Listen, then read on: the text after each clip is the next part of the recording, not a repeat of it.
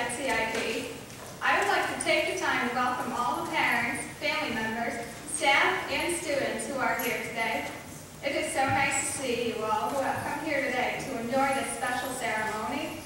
When Lucy asked me if I wanted to do a speech for Parents Weekend and Convocation, I felt very surprised.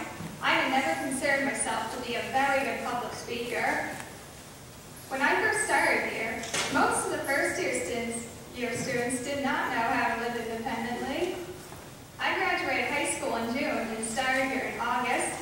For me, high school was very rewarding. Being a mentor here at CIP was a much different experience.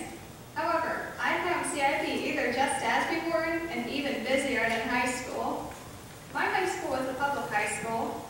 There were a lot more students who I didn't know who they were, and it was somewhat challenging. But here, it was generally a year of making new friends, which was easier for me in getting to know our peers. CIP also has a well-maintained program such as scheduling and live it on your own, which has made me more independent. CIP has improved my social, academic, career, money management, and life skills. I have made a very huge improvement in my career skills. I have learned a lot about interviews, important career skills, and resumes. I have also learned how to look for a job and how to prepare for an interview. I am currently working at Berkshire South in the child care area. I've been playing and having fun with the kids, and I really love it there so far. When I moved into my apartment in August, I had no idea how to cook a meal.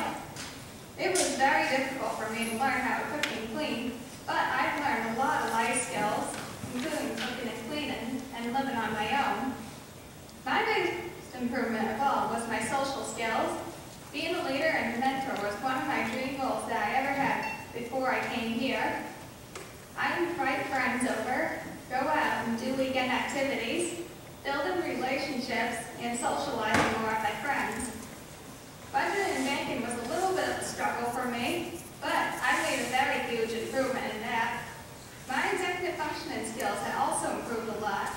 I have learned how to self-advocate for myself, multitasking day-to-day tasks, and goal setting for the week.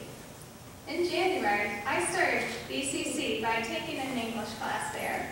So far, I have improved skills by studying, taking notes, and completing homework. I plan to continue and to prepare for my early childhood education certificate in the future. My dream goal is to become a speech and language therapist. Finally, I would like to thank the many people at CIP who have helped me this year.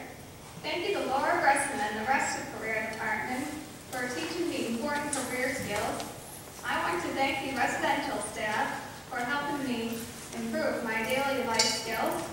Special thanks to the social thinking department for helping me become a leader and a mentor.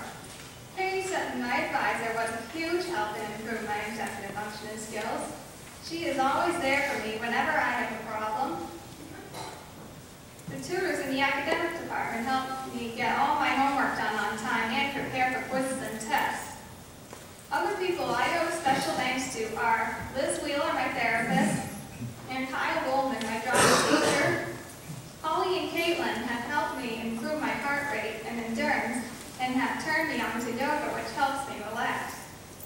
As I conclude my speech, I think my life has changed lot since I came to CIP. It looks like I had a great first year at CIP. At first, I struggled, but here I am today. Thank you to all the staff, students, and to all the parents for making this the most memorable year. I don't know what the future holds for me,